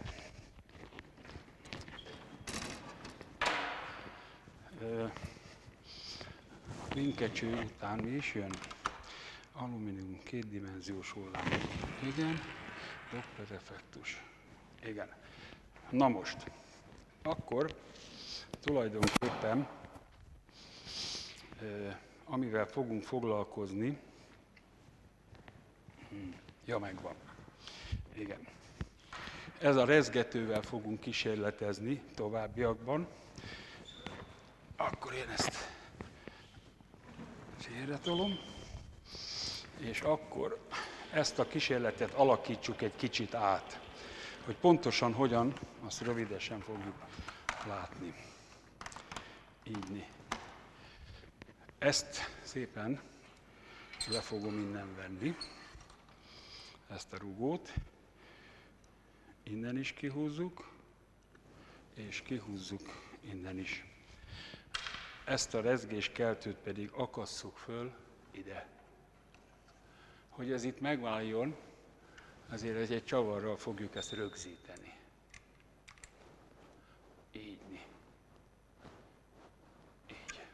Akkor ez itt most teljesen mereven itt áll, és ha majd bekapcsoljuk, ha majd bekapcsoljuk, akkor tulajdonképpen ennek a részének a rezgését fogjuk tudni majd tanulmányozni. Hogy mit fogunk belerakni, ez egy nagyon izgalmas kérdés nem tudom mennyire látja a kamera, de ez egy acélrót, acéldrót, amiből egy szabályos kör alakot csináltunk, és ezt a kör alakot fogjuk tudni hozzá rögzíteni ehhez a részhez ittni. Ígyni. Tehát ez azt jelenti, hogy rezgésbe tudjuk hozni majd ezt a drótot. Ezt a drótot. Egészen alacsony frekvenciáról fogunk elindulni, és nézzük meg, hogy pontosan mit is látunk. Nem tudom, mennyire sikerül a hátteret Egy picit még egy 5 centit a feljebb emelni egészen. emeljük följebb. Nem sokat. Az Így. Jó, tehát akkor most Sarkadi tanár úr mondta, hogy vannak más szempontok is, mint hogy amit én gondolok. Tehát most, ha megfigyeljük, akkor a 4,5 Hz frekvenciával hozzuk rezgésbe ezt az acéldrótot. Az acéldróton, ha meggondoljuk, ebbe az irányba is elindul a rezgés, meg ebbe az irányba is el fog indulni a rezgés, és ahol a rezgések összefogják egymást, tehát ahol megfelelő fázis helyzetben összehoznak, ott majd egy nagyobb frekvenciájú rezgés, nagyobb amplitúdói rezgés fog kialakulni. Hát ehhez most szép lassan megyünk fölfelé, és egy pillanatot megállunk, mert egy egész kicsit ezen így állítunk, így, hogy ez tengelybe legyen, és akkor így, na most. És azt hiszem, hogy kezd kialakulni a rezgés, mert ha megnézzük, akkor ezen a részen sokkal nagyobb a rezgés amplitúdója, mint ott a szélén. Abban az esetben, hogyha azt szeretnénk, hogy a széle rezegjen, tehát azt mondom, hogy itt van egy csomópont, itt van egy csomópont, és ha megnézzük, akkor itt pedig duzzadó helyek vannak közötte. Nézzük a frekvenciát, ha növeljük, akkor ez a dolog még talán markánsabban látszik. Tehát itt a rezgés amplitúdója, meg itt a rezgés amplitúdója kicsi, közötte pedig a duzzadó hely maximum. Itt is egy duzzadó hely van, meg itt is egy duzzadó hely van. Nem tudom kamerával mennyire látszik. Nem tudja lekövetni. Hát igen, az emberi szem azért az nem egyszerűen pótolható, de talán most.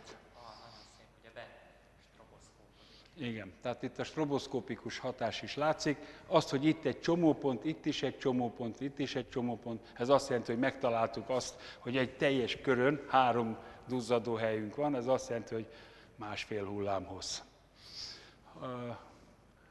Ha- tovább növeljük a frekvenciát, akkor át fog alakulni ez az alak, mégpedig olyanná, hogy négy duzzadó hely lesz,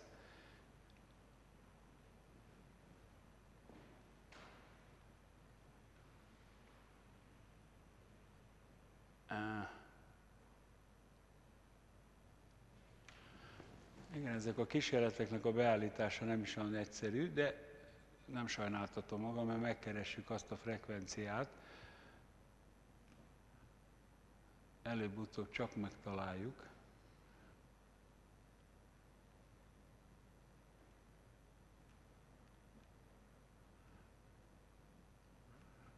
Igen.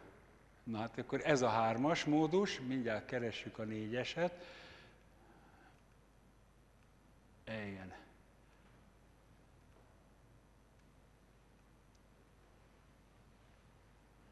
És azt hiszem meg is találtuk a négy. Megtaláltuk?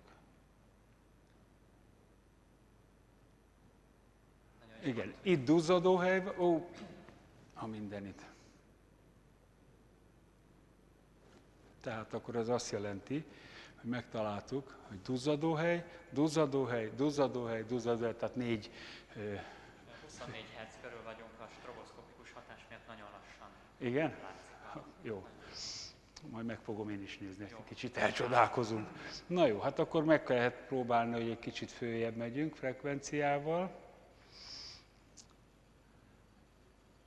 Ugye előbb-utóbb eljön ennek a módusnak a rezonanciája, ez most már 27 Hz környékén vagyunk, és a következő frekvenciát megnézzük, hogy az 5 fél hullám mikor fog előjönni.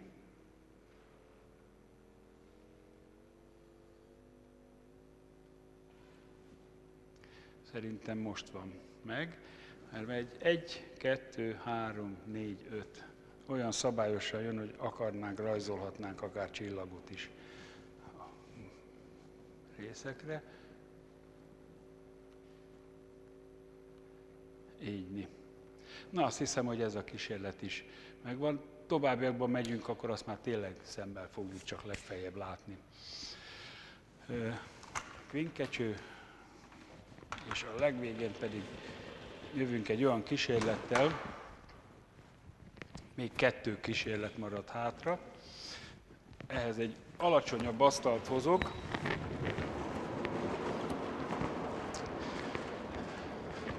ehhez egy alacsonyabb asztalt hozok, hozok hozzá egy, egy megfogó szerkezetet. Ez a megfogó szerkezet különböző lemezeket fog tudni majd jól megszorítani, és azért kell majd ezeket a lemezeket megszorítani, mert egy speciális módon fogunk hozzá rezgést kelteni. Tehát itt van a lemezünk, amit be fogunk fogni. Ez a fekete lemez, ez tulajdonképpen nem más, mint egy kutyaközönséges üveglemez, amely le van ö, festve mat feketére, főleg azért, hogy jól lássuk, amit szeretnénk látni. Kell hozzá még majd egy vonó, és hogyha az ember fogja, meg akarja szólaltatni, akkor fogunk hallani egy hangot. Hát ugye ez a hang, ennek a lemeznek a rezgései olyan tartományban esnek, amik megmozgatják a levegőt, és ennek a levegőnek a megmozgatásának segítségével eljut ez a rezgés állapot a fülünkbe.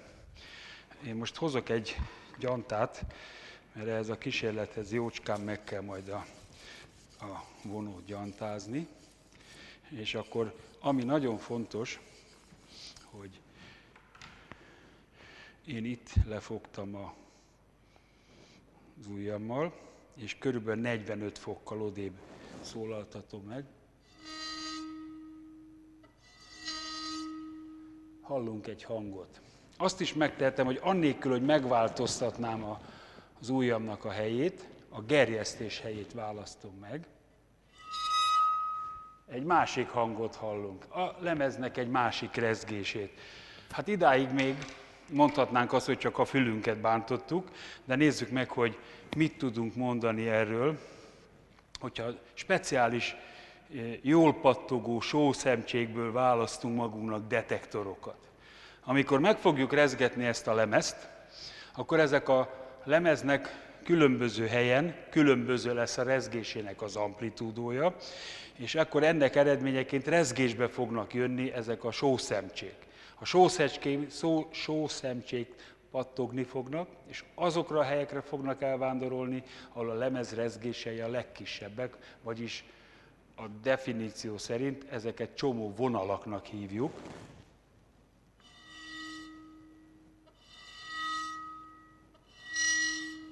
Azt hiszem, néhány vonóhúzás után látszik, hogy elkezdődik a rendeződés, az ujjamból kiindul egy csomóvonal, ezt nagyon érdemes megnézni, és ez a csomóvonal átmegy a túlfelére, és rá merőlegesen is megjelenik egy csomóvonal. Ebből az következik, hogy egy olyan hullámot sikerül előállítani, a csomópont, duzzadóhely, csomópont, duzzadóhely, összesen egy, kettő, három, négy félhullám a, a, a, a kerületen. Ha nagyon valaki emlékszik még az előző kísérletre, ott is egy dróthullámon alakítottunk ki, tehát ez kiterjedt lemezekben is előjöhet. Abban az esetben, hogyha eltüntetjük a sószemcséket, és ismét rendezetlenül szétszórjuk egyenletesen a sószemcséinket, megszólaltatjuk a másik hangot, ugye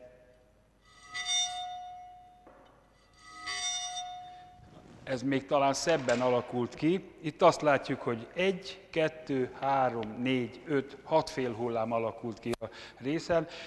Azt kell mondjam, hogy a lemezeknek a saját rezgéseivel kísérletezünk, és akkor, ha egy másmilyen alakú lemezről kísérletezünk, akkor a másmilyen alakú lemez az ugye ugyancsak ugyanabból az üvegből lett kivágva, ennek, ennek az alakja, ez egy négyzet, a négyzet közepét fogjuk megfogni.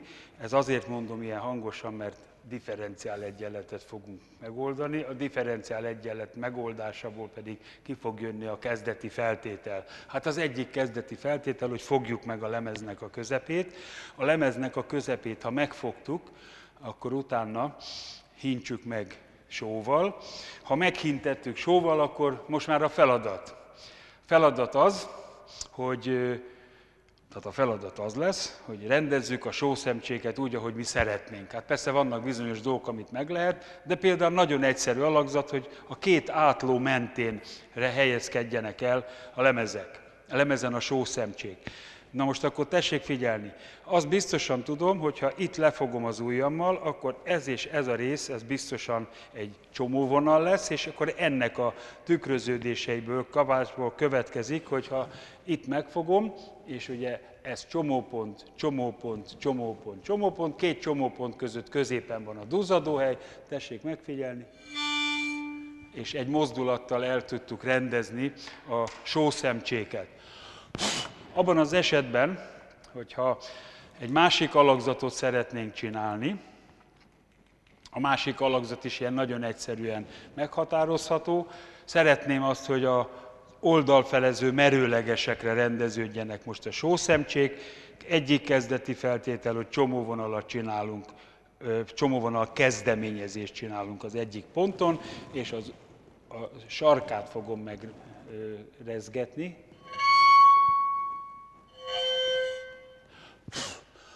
Itt több dolgot figyelhettünk meg egyszerre. Itt azért egy kicsit bonyolultabb ábra is kialakult. Na mindegy, mindjárt ezen egy kicsit húzunk. Aztán itt elhelyezem. Itt gerjesztünk. Hát tulajdonképpen, ha megnézzük, akkor egy olyan alakzatot sikerült létrehozni, hogy meghúztuk az oldalfelezőket, és még a sarkainál is egy ilyen kis körívecskék alakultak ki. Természetesen, hogyha valaki azt mondja, hogy szeretné egyszerre látni az oldalfelező merőlegeseket és, a, és a, az átlókat is, őnek is tudunk mutatni valamit, vagyis azt tudjuk, hogy az átlók akkor lesznek, hogyha az ujjunkat ide tesszük, a sarkára, a közepére tesszük a hüvelykújamat, itt is csomóvonal fog indulni, és a kettő között kell gerjeszteni, vagyis itt, és akkor azt hiszem mindenki szépen látja, hogy az oldalfelezők és a, az átlókat is sikerült megrendezni, pontosabban, hogy elrendezni a, a sószemcséket, tehát a, a fizika tudásunk az mégis jó valamire, úgy is mondhatnánk, hogy, hogy ö, ö, előre meg tudjuk mondani, ez nem kis dolog. Én leveszem az egyik mikrofonomat és idadom Tamásnak, azért,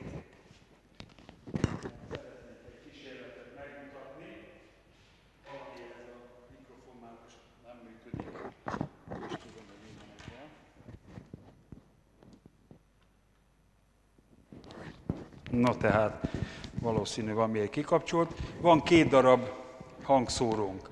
Ez a két darab hangszóró, ez egy speciális hangszóró, sorba vannak kötve, és ennek eredményeként a sorba kötött hangszórók azt fogják tenni, hogy szinkronizálják egymást, és azonos frekvenciájú és állandó fázis helyzetű hangszórókat fogunk tudni így kapni. Bekapcsolom, és meghallgathatjuk külön az egyik hangszórót, és külön a másik hangszórót.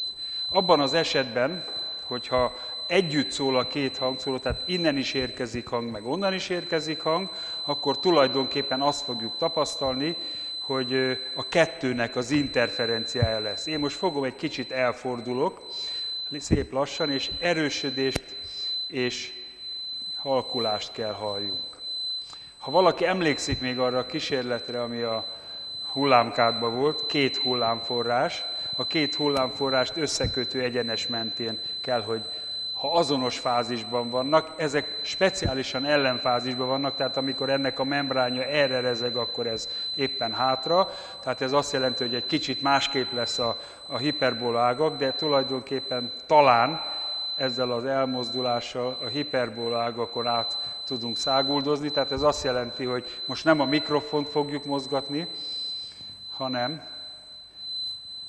a, a két hullámforrás fogjuk mozgatni.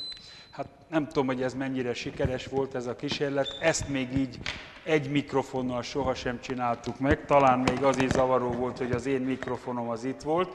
Próbáljuk még Tamás, időnk belefér, tehát akkor most ez azt jelenti, hogy én kikapcsolom ezt a mikrofont,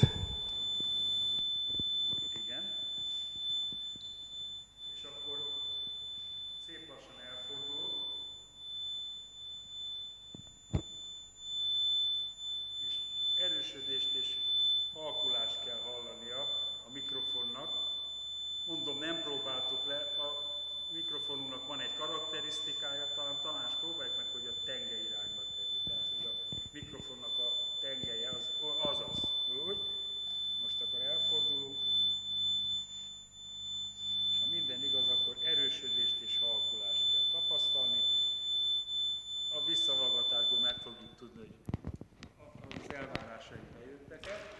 Visszakapcsolom a mikrofonomat. Azt hiszem megint csak szól a mikrofon, de kapcsoljuk be azt is. És akkor egy utolsó kísérlet maradt, ez pedig a Doppler effektussal kapcsolatos kísérlet. Erre megint csak ugyanaz igaz, mint a másikra, hogy ezt se próbáltuk le mikrofonnal. Egy ugyanilyen csipogót hallunk, ennek talán egy kicsit a frekvenciája magasabb.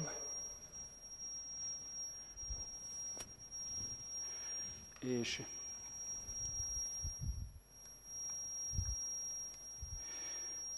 bekapcsoljuk a másik mikrofont is, és ide elhelyezzük a mikrofont, és egy körpályára tudjuk kétszeríteni ezt a domcsipogót.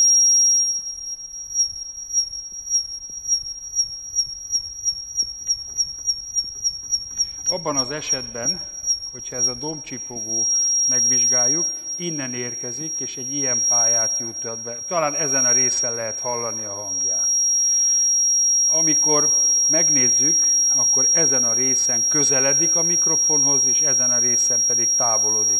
Ha Doppler effektust valaki jól megismeri, akkor tulajdonképpen rájöhet, hogy egy ilyen frekvenciájában közeledéskor magasodik, távolodáskor pedig mélyül, tehát tulajdonképpen egy ilyen frekvencia változást kell hallani. Ha ez a változást hallottuk, akkor sikerült az interneten keresztül is megmutatni ezt a jelenséget, hiszen itt a tanteremben ez a két utolsó kísérlet mindig szokott működni. Azt hiszem, hogy ellenőrizzük le, Tamás, hogy maradt-e még valami ki, és azt hiszem, hogy tulajdonképpen mindent megcsináltunk. Hát akkor nem maradt más hátra, mint hogy megköszönjem Tamásnak és Dénesnek a segítséget, és kellemes vizsgálódőszakot kívánok. Vigyázzatok magatokra, a vírus az még nem tűnt el.